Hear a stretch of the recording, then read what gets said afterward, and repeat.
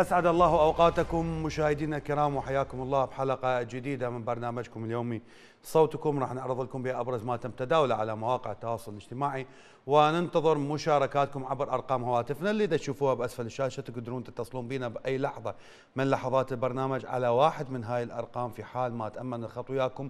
لأي سبب كان تقدرون تتواصلون ويانا عن طريق برنامج الواتساب برسائل مكتوبة. أتمنى تكون متبوعة بالاسم والمكان حتى نقدر نقرأها بالدقائق الأخيرة من حلقة هذا اليوم. نبدي حلقتنا مشاهدينا الكرام. واول ملف ويانا هو ملف آآ آآ ما يعيش العراق من تبعات الحكومات اللي جت بعد الاحتلال أو حكومات الاحتلال من سنة 2003 هاي الحكومات تواجه اتهامات إنه هي أهملت ملف الخدمات. عدم يعني ما طورت شبكات الصرف الصحي في بغداد والمحافظات العراقية. هذا الشيء اللي يتسبب بغرق الشوارع مع أقل موجة أمطار والاكتفاء بتعطيل الدوام الرسمي. محافظة البصرة اللي راح نبدي بها حلقتنا اليوم ما بها الاستجابة الصحيحة للحاجة الملحة لتعطيل الدوام اليوم بسبب موجة الأمطار اللي هطلت على المحافظة أمس. هذا الشيء اللي فاق من معاناة سكان البصرة خصوصا التلاميذ والطلاب. وتسببت الأمطار مثلا سقوط سقف أحد الصفوف المدرسية في مدرسة كرفانية بقضاء القرنة بمحافظة البصرة أدى إلى إصابة تلميذة بجروح إضافة عن غرق المدرسة بعد اجتياح مياه الأمطار إلى المدرسة. تعالوا نشوف.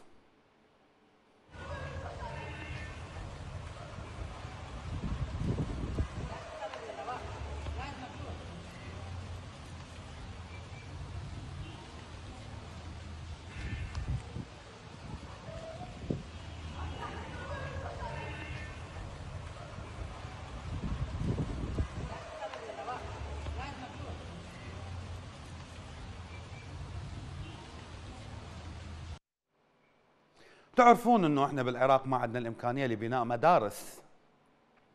فإحنا عندنا مدارس كرفانيه واحدة من مشاكل المدارس الكرفانيه هي عدم تحملها للتقلبات الجوية.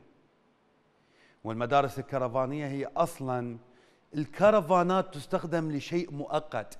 يعني تلقون كرفان موجود أمام بناية تستخدم للمكتب الهندسي للحرس للعمال مخزن حد ما تخلص البناية انشال الكرفان. أما الجماعة بالعراق هاي المدارس صار لها سنين. هاي المدارس مؤصلة متجذرة بالوضع. بالمقابل عندنا عشرات بل مئات المشاريع المتلكئة لبناء مدارس أخرى. موجة الأمطار الأخيرة تسببت من معاناة للتلاميذ بعد غرق الشوارع وأنتم تعرفون الشوارع بالعراق بس تمطر الدنيا شو يصير بها الشوارع المحافظة اللي بالأصل تعاني من إهمال انهيار بنية تحتية خصوصا بقضاء القرنة. يعني الوضع صار مأساوي. ناس من البصرة من القضاء الدولة وصور لتلاميذ يمشون ويسبحون بالوحل والبركة الطينية. بعد أن غمرت المياه مياه الأمطار أقصد الطرق والشوارع المحيطة بمدارسهم. تعالوا نشوف.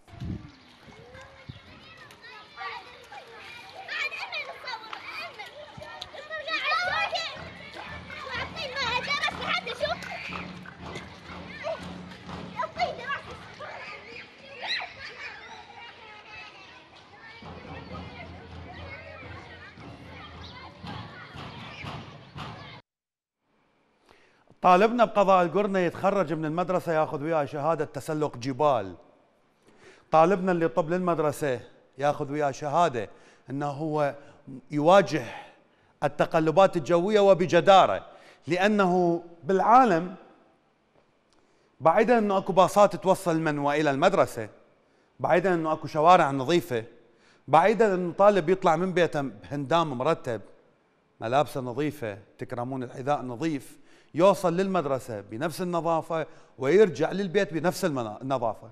أما جماعتنا بالعراق البنات اللي لابسات المريول المدرسي أو الزي المدرسي الطين الحذاء اللي هم لابسيه برجلهم الطين الفقير اللي اللي حالته ما يقدر يشتري الابنه جديد حتى الطين يعبر إلى رجله. فبعيدا عن الأمراض بعيدا عن الوساخة بعيدا عن اللي دا يصير بعيدا عن النظافة اللي دا تصير بالمدرسة وهم دا يسبحون بهيك طين. تخيلوا الحال شلون دا يصير وشلون دا يعيشون بالقرنة. نبقى بقضاء القرنة. سكانها طالبوا أنه يتم إعلان القضاء منطقة منكوبة خصوصا بعد الأمطار اللي شهدتها آه، آه، القضاء البارحة واليوم.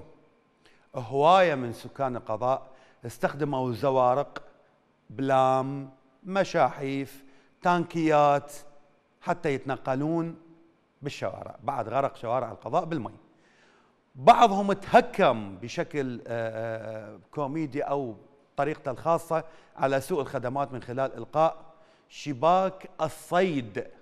بوسط المي المتجمع بشوارع القضاء حتى يصيدون بشكل ساخر من الأوضاع المزرية اللي يعيشها العراقيين خلال فترة حكومة الخدمة في عامل انجازات مثل ما أطلق عليه محمد الشاعر السوداني. تعالوا شوفوا.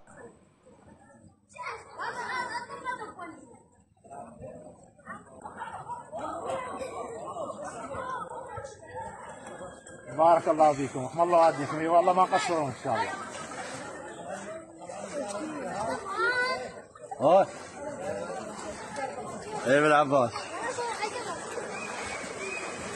يا والله أحمد.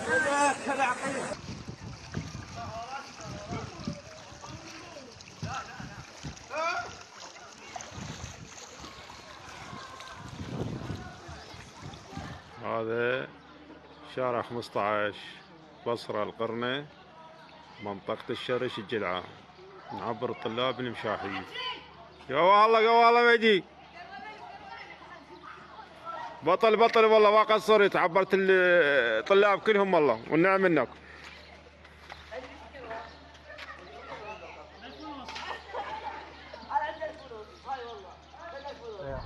آه آه. جاي ينصب شبش روح أبوي روح روح. أنصب هاي نصب اليوم. دق نصب. اليوم صلوات فيها نعمة نعمة. دق نصب اليوم روح روح روح روح روح روح روح خلنا نصب خلنا نسحب محمد قرب احمد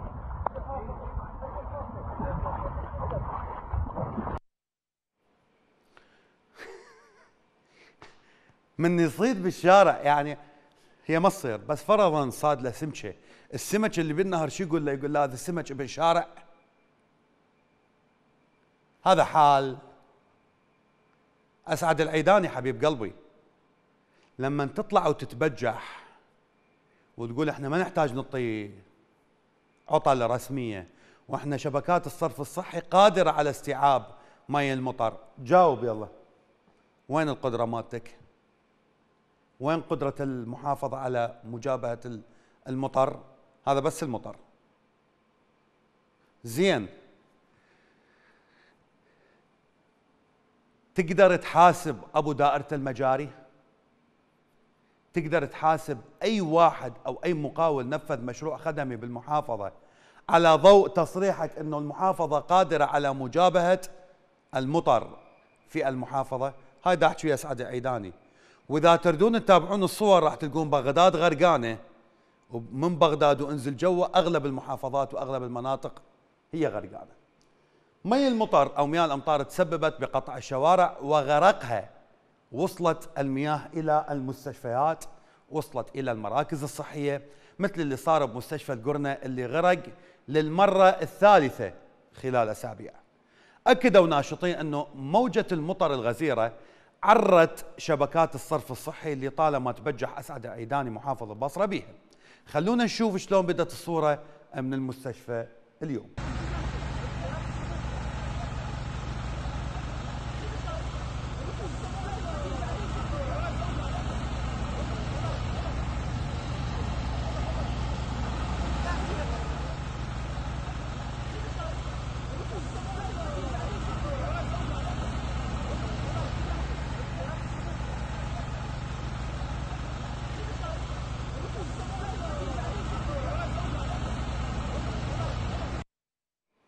هذا الحال اليوم في قضاء القرنة بمحافظة البصرة اللي أسعد العيداني رفض ينطي عطلة للناس وللطلاب ويقول إنه المحافظة قادرة على مجابهة المطر.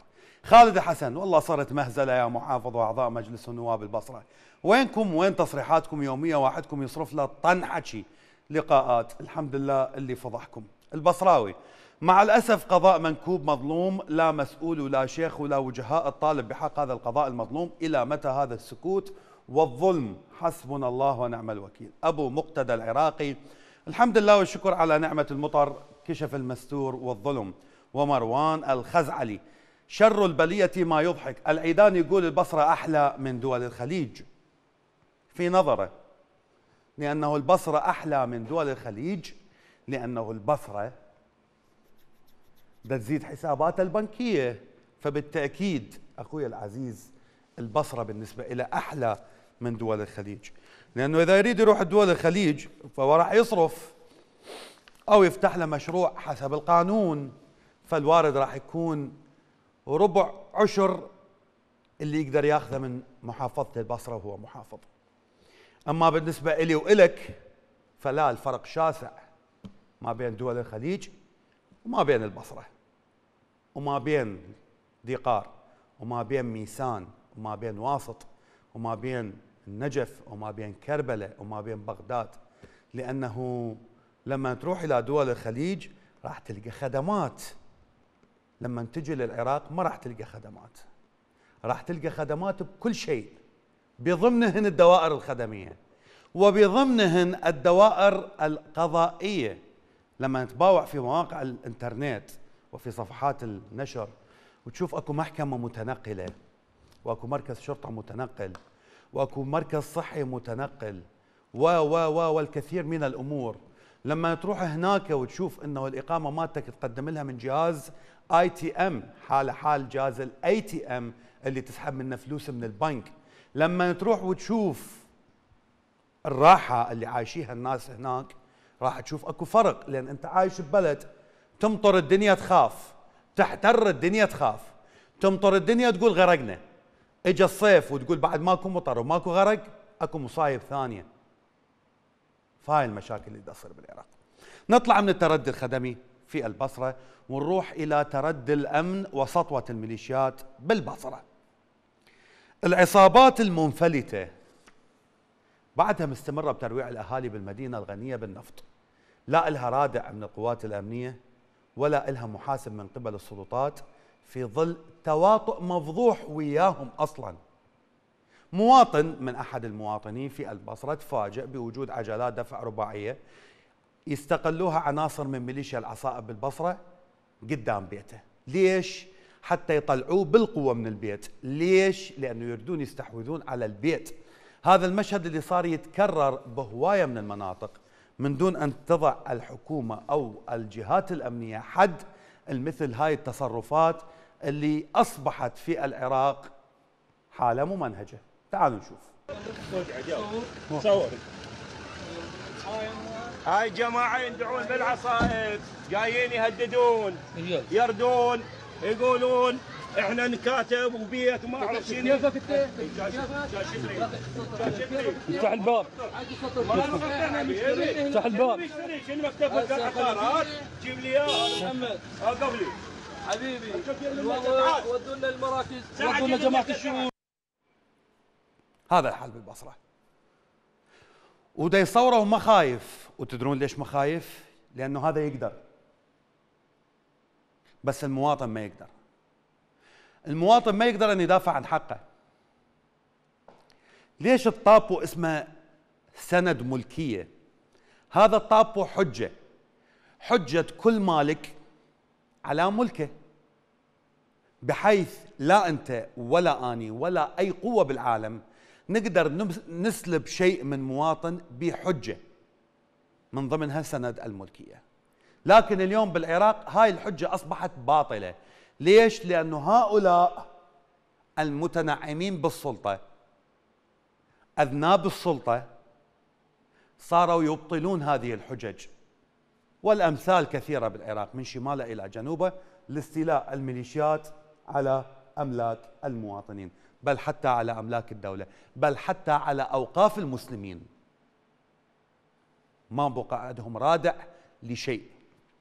بالبصرة ما سلموا الناشطين من اعتداءات ميليشيا العصائب اللي دا يتنامى دورها بشكل ملفت للأنظار بشكل مو طبيعي بشكل آه، آه، غريب. وأصبحت هي اللي تتحكم بمقدرات المدينة. تقصي كل صوت يحاول توجيه الانتقاد إلها أو الممارساتها اللي حولت البصرة إلى ضيعة بديها عندنا ناشط اسمه علاء التميمي من محافظة البصرة. تعرض إلى اعتداء بالضرب بمنطقة الطويسة على يد مسؤول العصائب سمير مجيد حسين البطي ويا عدد من المرافقين بمشهد صار يظهر حجم الانفلات الأمني بالبصرة. تعالوا نشوف. سمير الحمداني جاء اعتدى عليه سمير الحمداني هو عصابته البطي. سمير البطي. سمير البطي يا ولد. اجا قتلني سمير البطي. سمير البطي. امشي امشوا عيران سواتكم جنب امشوا يلا يلا يلا يلا يلا يلا يلا يلا يلا عبيد عبيد ايران يلا. عصابات وين الحكومة؟ وين القانون؟ وين قائد الشرطة؟ قبل قليل واقف على الشارع اجى سمير البطي هو وحمايته بمجرد علقنا. قلنا القانون لازم يطبق على الكل. وريد قوة الدولة بالبصرة. يا أخي ردنا قوة الدولة. شوفوا مثل ما تشوفون من الطالة وشردوا من الطالة يشغلون عليهم طالة بسونداتهم والله عيب عليكم قائد شرطة البصرة حملت مسؤولية حمايتي. السيد مدير المكافحة السادة بالاستخبارات وضعنا بخطر كناشطين كمواطنين. قسما بالقرآن اجوا اعتدوا علينا ووثقت هاي المشاهد. وضع البصرة في خطر يردون يركبون على القانون ويعدمون كلمة الحق. هذا سمير البطي. وأنا احمل وزير الداخلية واحمل رئيس مجلس الوزراء واحمل المحافظين مسؤولية أي ناشط مو بس علاء. لأنه الناشط اليوم اللي قاعد يطلع وقاعد يوثق هو ما دا يوثق شيء من الخيال. بس هم ما يردوا يطلع ويوثق ليش؟ لأنه دا يفضحهم.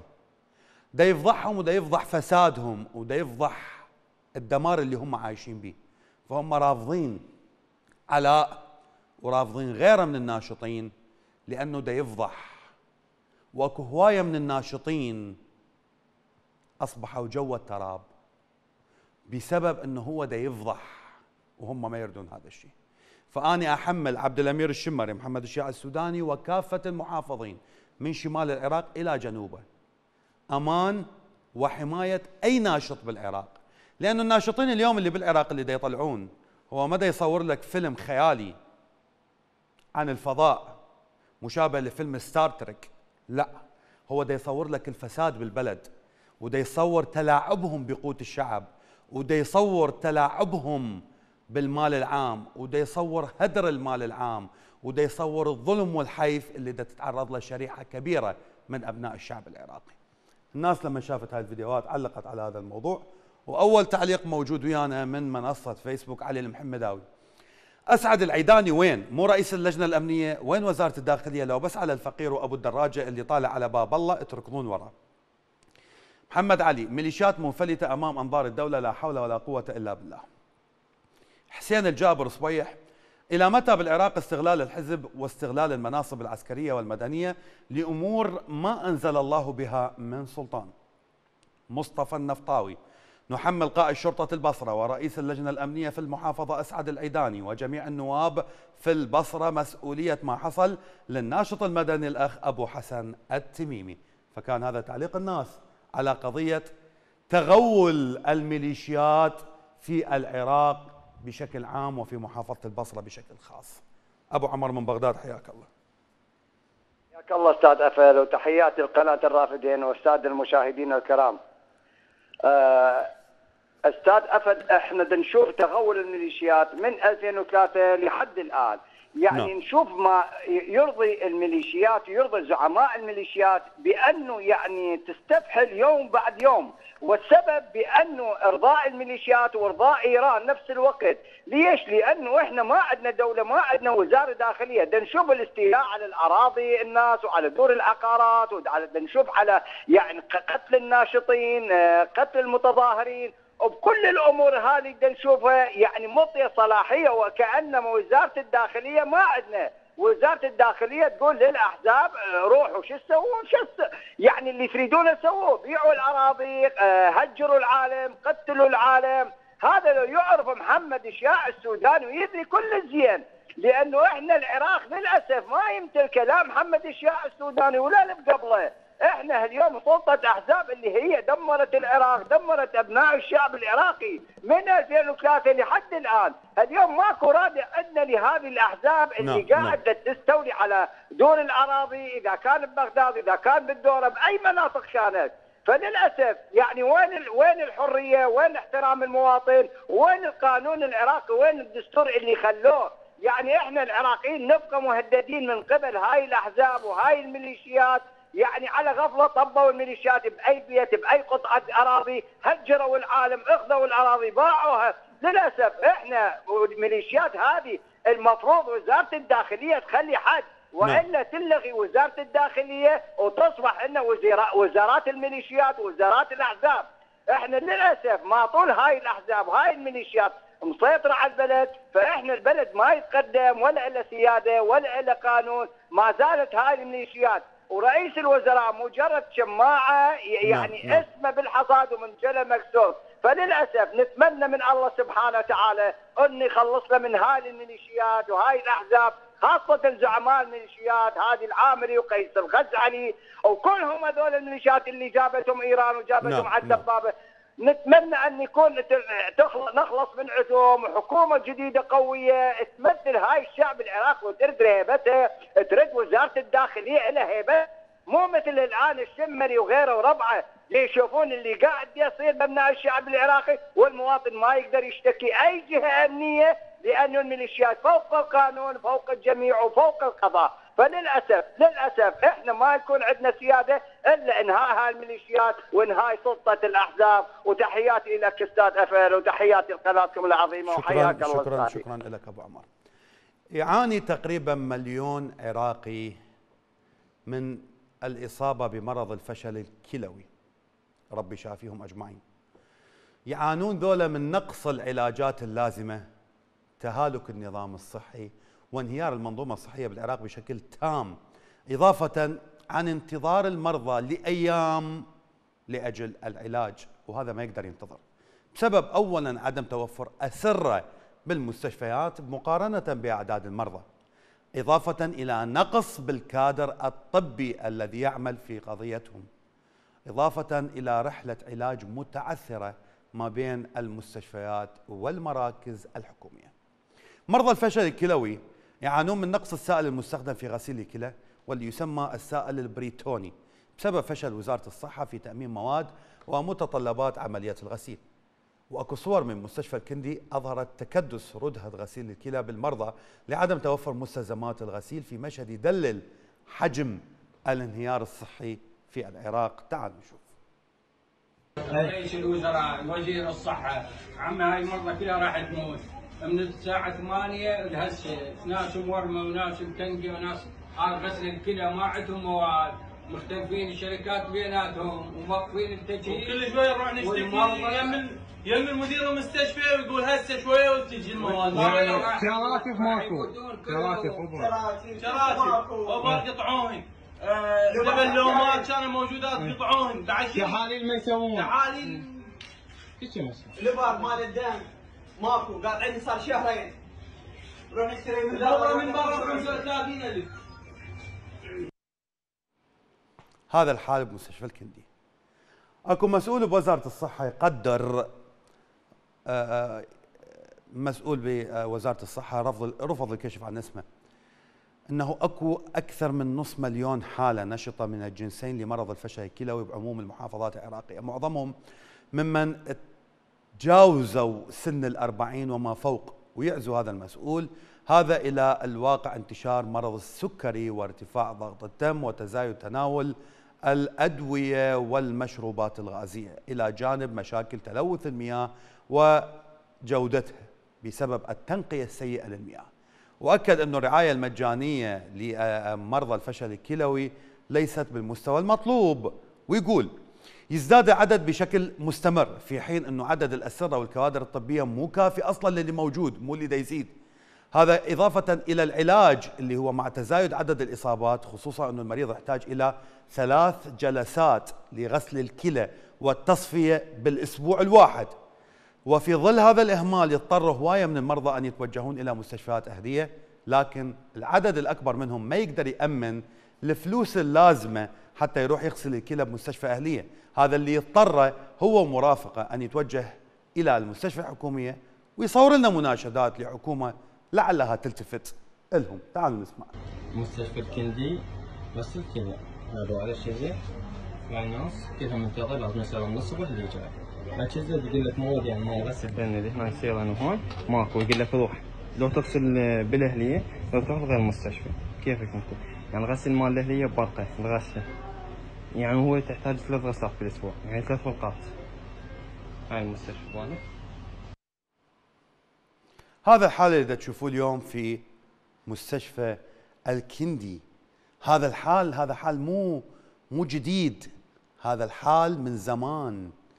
هاي المشاكل من زمان لكن ما أكو واحد يتابع الموضوع ويقرأ. ناس علقت محمد عبد الرزاق يقول المفروض من الدولة أي مريض يكون له اهتمام وصرف من أموال الدولة للفشل الكلوي السرطان وغيره من الأمراض.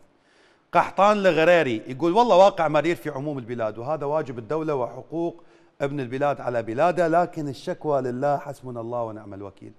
وسيد محمود الموسوي والله ما عندنا إمكانية نغسل بأسبوع مرتين نريد مساعدة من الدولة إلى أصحاب الفشل الكلوي. أنقذونا جزاكم الله نريد مبالغ مالية للعلاج والغسل.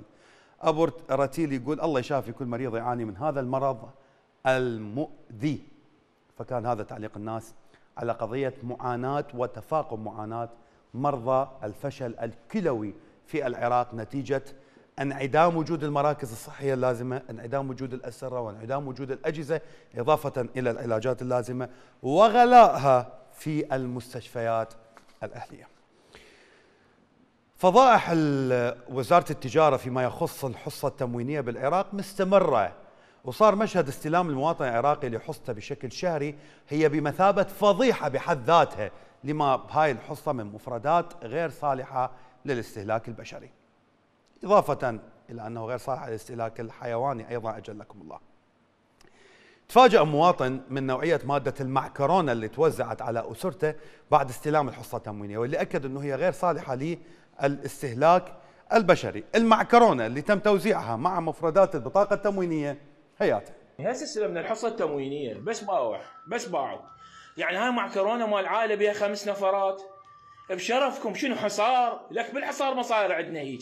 بس باعوا هاي معكرونه مال خمس نفرات. هسه استلمنا الحصة التموينية. بس باعوا بس باعوا يعني هاي معكرونه مال عائله بها خمس نفرات. بشرفكم شنو حصار؟ لك بالحصار مصاير عندنا هيك. بس باعوا هاي معكرونه مال خمس نفرات. بعيدا عن الرداءة مال النوعية خمس نفرات نعطيهم بما يقارب كيلو. يعني المواطن العراقي حصته بالشهر 200 غرام وال 200 غرام هو قلاص زين هذا القلاص إذا يقسم مع الشهر يوميا يأكل مع كورونايتين؟ ويقول لا.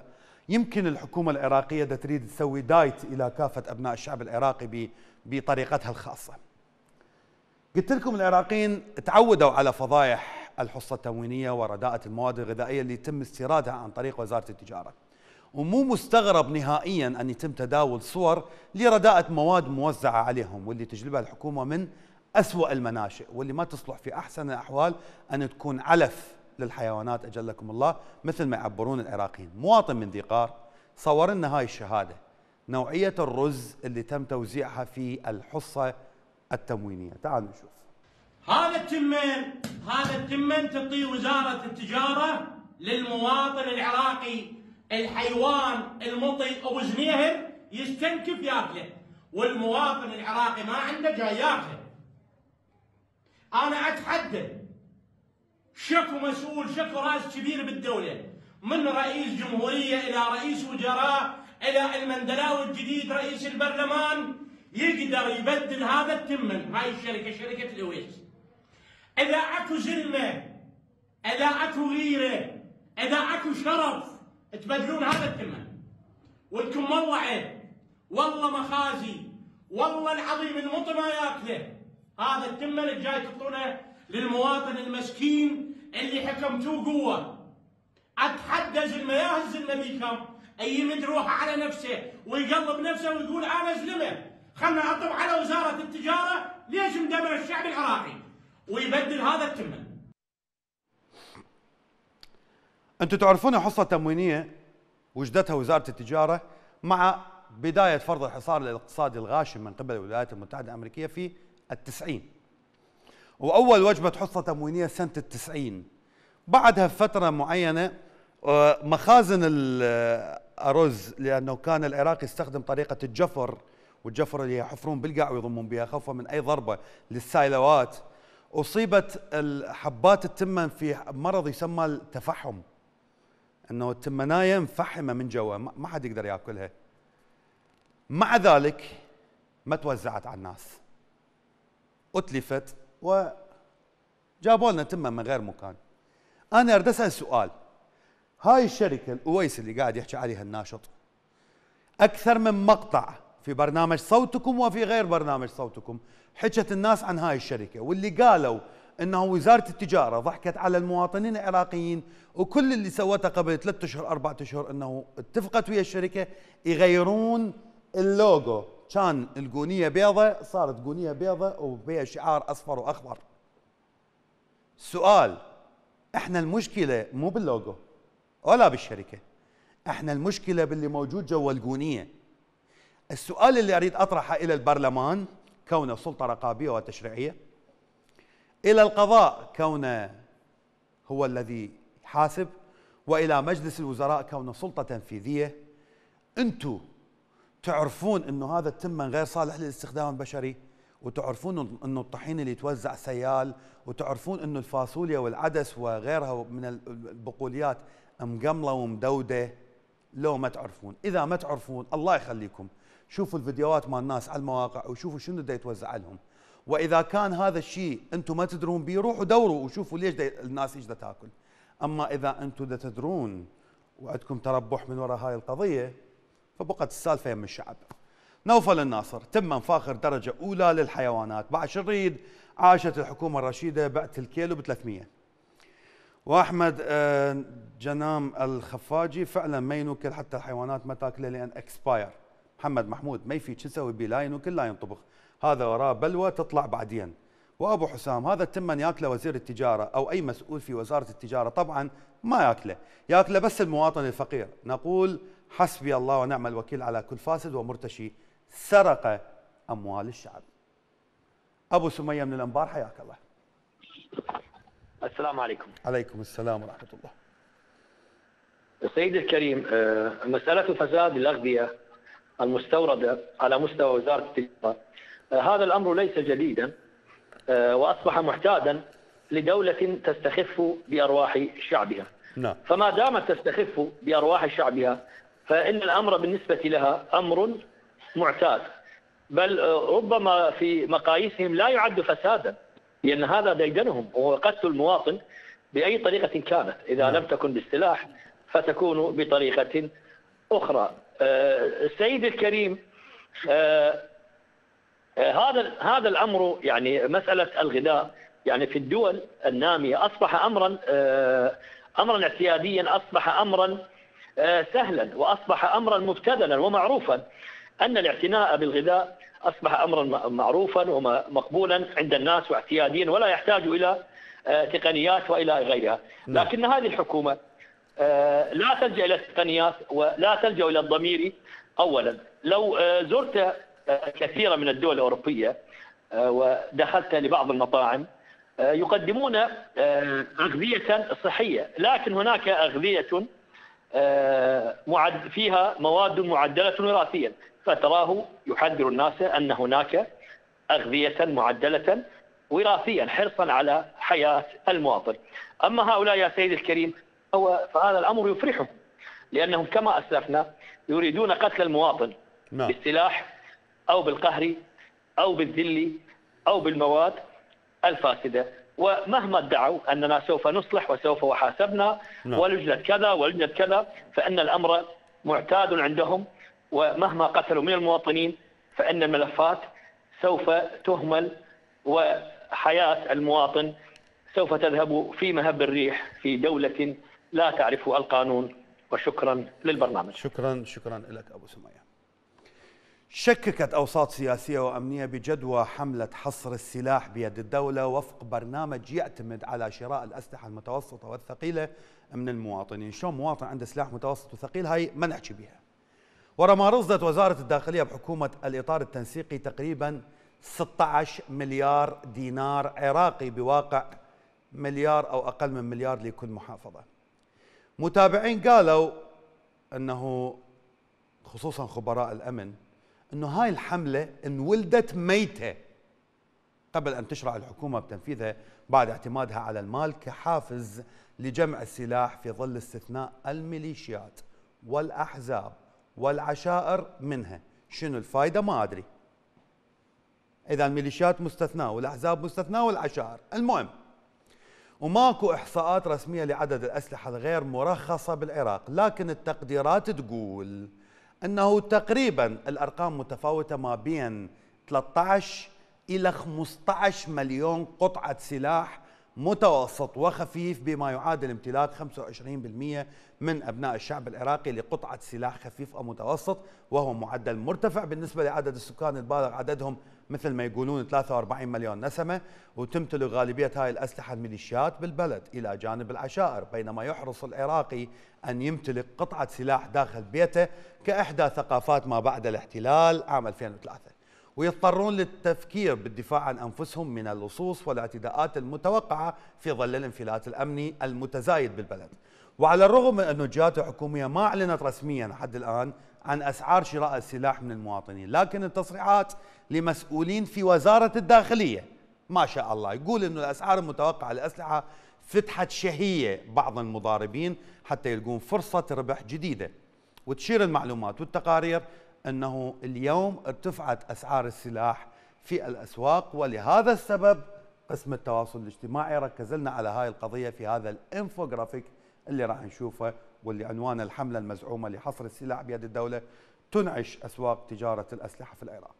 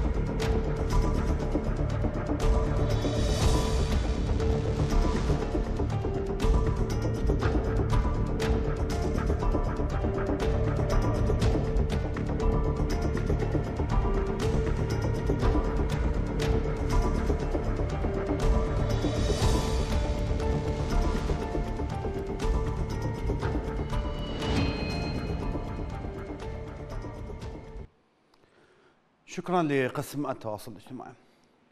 بآخر إحصائية حكومية بلغ عدد المعتقلين بتهمة المخدرات خلال عام 2023 أكثر من 17 ألف معتقل. هو رقم يعكس لكم تنامي خطر آفة المخدرات في ظل تواطؤ وفشل الحكومة.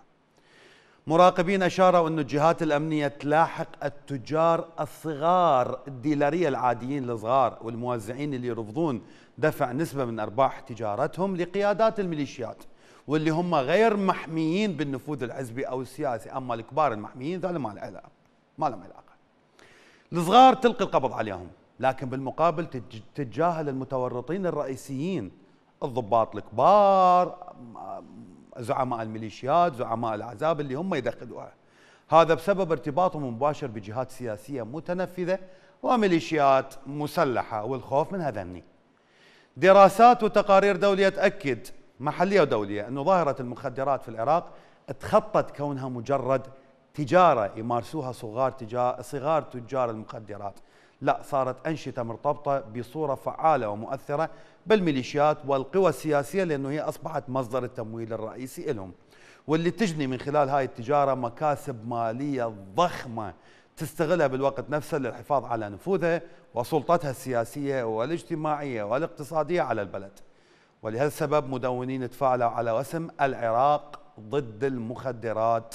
للتحذير من خطر تفشي المخدرات بالعراق على المجتمع وارتفاع معدلات الجريمة من منصة إكس جبنا لكم ما ينشرون الناس على هذا الهاشتاج أو هذا الوسم. علي صادق المخدرات في العراق آفة خطيرة تفتك جسد المجتمع وتقوي سلطة الدولة والقانون. لينا الأصيل الميليشيات الولائية تستغل الأطفال في الترويج للمخدرات واستخدامهم كأدوات لتدمير المجتمع دون أي اعتبار لمصيرهم. وزير الداخلية ها تدري لو ما تدري وين منظمات حقوق الإنسان ورعاية الطفولة؟ وين الأجهزة الأمنية؟ زهراء العرجي تقول لن نترك لهم مجال في سلب شبابنا من خلال قتلهم بالمخدرات. ساهموا بنشر التوعية عن مخاطرها وإيجاد الحدود الحازمة للقضاء عليها. ورنا الشمري تقول العالم يمر في أزمة أخلاقية وقيمية. لابد من مواجهة هذه الأوبئة الفتاكة بقيم المجتمع. هاشتاج العراق ضد المخدرات. هذه التغريدة وغيرها كانت على هذا الهاشتاج وصلتني رسالة آه، وحيدة. تقول أعرض على قناتكم المجيدة مصيبتنا وحاجتنا إلى سفارة بنيوزيلندا حيث أن في دول كثيرة لا يوجد بها أكثر من 20 عراقي وبها سفارة وسفير وقنصلية أما نحن العراقيين التي يقدر عددنا أكثر من 50 ألف ما عندنا سفارة حيث الذي لديه معاملة مثل الوكالة المختلفة شهادة الحياة الخاصة به أو أي معاملة مثل تجديد جواز وغيرها ير- لازم يروح للسفارة العراقية الموجودة باستراليا بعاصمتها كامبيرا وهي تكلفنا حوالي 2000 دولار من ضمنها بطاقة السفر والإقامة والمعيشة وعليه ترك عمله لمدة خمسة أيام مع تعبه للوصول هناك. ويواجه عراقيين ليس لهم باسبورت نيوزيلندي ما يقدرون السفر بالباسبورت الأسترالي لصعوبة الحصول على فيزا. ولهذا نرجو ثم نرجو عرض المشكلة على وزارة الخارجية بتعيين سفير وإذا ما يردون على الأقل قنصل حتى يمشوا لنا جميع المعاملات مع تحياتنا لكم أخوكم جلال هنودي أو هنودي. أه تدلل أستاذ جلال. مشاهدينا الكرام مثل ما تلاحظون مشاكل العراق كثيرة. ومصايب العراق كثيرة. لكن مصايب العراق إذا فكرنا بها راح نلقيه أنه أساسها واحد المنبع واحد والجذر واحد. فإذا نريد نقضي عليها لازم نحارب المنبع أو نحارب الأساس. نار نار واشتعلت بمكان. إذا جيت طفيت الطرف مال النار ظل النار توج لأنه المركز مالتها بمكان ثاني. أما إذا أخذت طفايتك ورحت للمركز وطفيتها من هناك وبديت تنتشر إلى باقي الأماكن تقدر تسيطر على النار. هذا اللي هو من المفترض أن نسويه. أما اليوم اللي دا يعيش بالعراق هو فعليا محترق بنار. بس إحنا المشكلة ال- ملجوعين وملجومين من هاي النار والشعب مدى يعرف شلون يكافح هاي النار. ففكروا بالمصدر وين؟ نلتقيكم على خير إن شاء الله. الثلاثاء بحلقة جديدة من برنامج صوتكم بنفس الموعد ومواضيع جديدة. في أمان الله.